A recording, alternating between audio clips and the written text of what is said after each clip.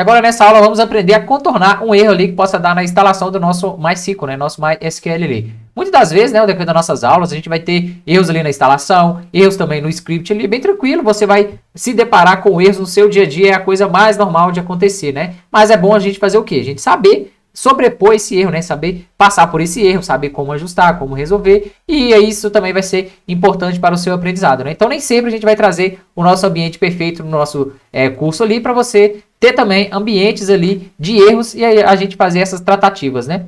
Como que eu vou saber ali que deu erro na minha instalação do MySQL ou Windows não reconheceu? Se eu é, colocar Windows R, né? Vou colocar o Windows R ali e executar o CMD para meu prompt de comando aparecer e eu digitar lá MySQL para ver se ele foi instalado, né? Se o Windows reconheceu ele automaticamente ali. Então, depois do nosso atalho Windows R, eu posso abrir aqui, ó, digitar o comando CMD, ele vai abrir nosso prompt de comando. Então, você pode pesquisar no Windows aí, é prompt de comando, né? Ele vai abrir o prompt lá pra gente. E aqui, ó, eu teria que digitar MySQL, né? MySQL, e ele deu essa mensagem, ó, não é reconhecido como comando interno. Ou externo, né? O programa é operável no nosso arquivo inload. Então, quer dizer que ele ainda não está preparado ali para receber os nossos ambientes ali. E como que eu vou contornar esse erro, né? Então, quer dizer que a gente vai ter que criar ali na variáveis de ambientes, né? A gente já utilize isso em Python, a gente às vezes vai ter que fazer essa configuração e também vamos utilizar para o MySQL. Então quer dizer que o Windows ali não tem um ambiente, né, não reconheceu o MySQL em seu ambiente. A gente vai fazer isso manual, né, lá é, na nossa parte. E aí, se isso aqui não deu, não apareceu esse erro para você, é tranquilo, a gente segue normal, beleza? Mas eu vou mostrar para vocês como que a gente vai contornar esse erro. E aí eu cliquei o que? Eu tenho que localizar a pasta bin lá na minha é, instalação do MySQL, né, onde que eu instalei. E aí eu fui até no meu computador, né, você pode clicar aqui, ó, é meu computador, beleza? Tudo bonitinho aqui. Você vai colocar aqui, ó, Windows C, onde vai ser é, a sua raiz ali de instalação, e o meu está instalado aqui na, parte, na pasta né, de arquivos e programas. E aí você tem que localizar de todos os seus programas aqui, você vai ter, vai ter que localizar o MySQL. Né? Então localizei a minha pasta aqui ó, do MySQL, onde foi feita a instalação. Eu vou dar duplo, duplo clique sobre ela, né? E aí vai ter toda aquela parte que a gente instalou, né? O Workbench, o Shell. E a, a nosso foco vai ser esse aqui, ó, MySQL Server, né? Onde ele vai é, o nosso computador vai reconhecer o servidor é, do MySQL. Então, vou dar duplo clique aqui. E eu tenho que localizar essa pasta bin, onde ela que vai ser o nosso mapeamento ali para criar o nosso uh, ambiente, né? Então, vou clicar aqui, ó, em bin. E é, o caminho completo que eu vou ter que passar vai ser esse aqui, ó. Então, eu tenho que copiar esse caminho, vou dar um Ctrl C nele aqui. E aí, lá no meu Windows, eu vou digitar aqui, ó, é pesquisar por essa parte aqui, ó. É variáveis de ambiente do sistema, aqui, ó editar variáveis e ambiente do sistema, beleza? Ou então eu posso ir lá no painel de controles, eu vou achar essa parte também. Mas eu já fui direto aqui, eu vou clicar nessa parte onde ele vai abrir, né, o nosso é, editor aqui. E aqui, ó, em propriedades, eu vou clicar nessa parte aqui, ó, propriedades de ambiente, tá bom? Vou clicar nela. E aí nessa parte também, aqui, ó, NPF, aqui vai ser todas as minhas variáveis de ambiente, onde eu vou ter o nosso MySQL instalado, né? Aqui eu já tenho ele aqui, ó, vou é, dar duplo clique nessa parte aqui, ó, de PEP, né?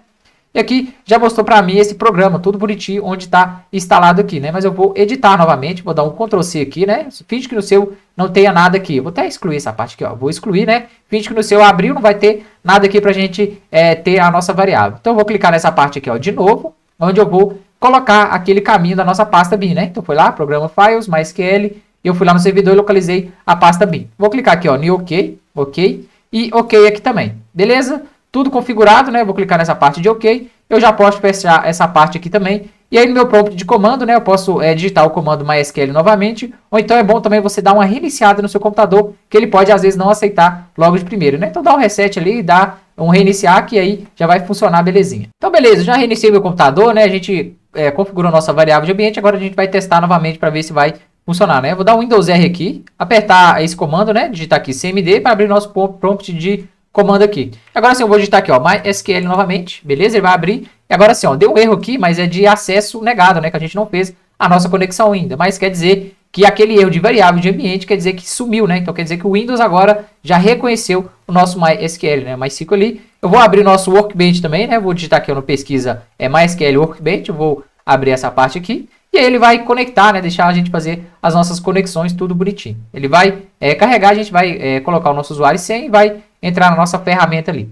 Beleza? Agora aqui, ó, vou abrir aqui novamente, né? Como eu já deixei o usuário e senha, provavelmente na primeira vez vai pedir para você colocar a senha, né? Igual a gente fez na aula anterior. Você pode colocar lá para gravar sua senha e aí a gente não precisa de é, localizar novamente, né? Aquela parte lá. Então já abriu aqui, o meu não pediu, né? Nem usuário nem senha, que na aula anterior a gente fez isso, né? Eu coloquei, é, pede usuário e senha, eu coloquei lá para salvar e aí não vai pedir a senha novamente. Aqui temos a nossa parte do Workbench, tranquilo, não quer dizer que o Windows reconheceu. Nessa parte aqui ó, de esquema, né, a gente dá para ver os bancos de dados. Como a gente instalou aquela parte é, full lá, ele trouxe banco de dados de teste para a gente ali, né, que é o Saquila e o Word também. Então posso abrir aqui, eu vou ter aqui nossas tabelas, view, tudo bonitinho, conforme nossas estruturas de dados parecidas o que a gente já vem trabalhando ao decorrer dos nossos cursos aí, do nosso entendimento, né. Então aqui eu já posso fazer um select, né, de tabelas, eu posso fazer qualquer coisa aqui, nossas tabelas já estão populadas. Eu posso vir aqui, ó, select é, mil linhas, né, então colocou select sakila.country, né, eu posso fazer um select aqui também, é, select, né, asterisco from, vou colocar aqui é, sakila. Ponto, vou trocar o nome da nossa tabela para a gente ver funcionando aqui também, só para ver se testar tudo bonitinho, né? Vou tirar esse country aqui e vou colocar essa outra tabela aqui de story, por exemplo, né? Seria lojas ali, né, se eu não me engano.